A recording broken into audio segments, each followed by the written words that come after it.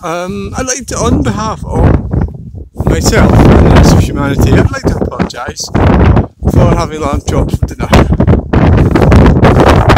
I think personally, it's just yeah, really tasty.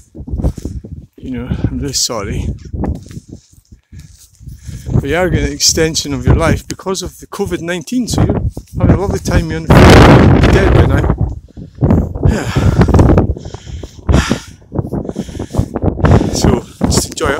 happening.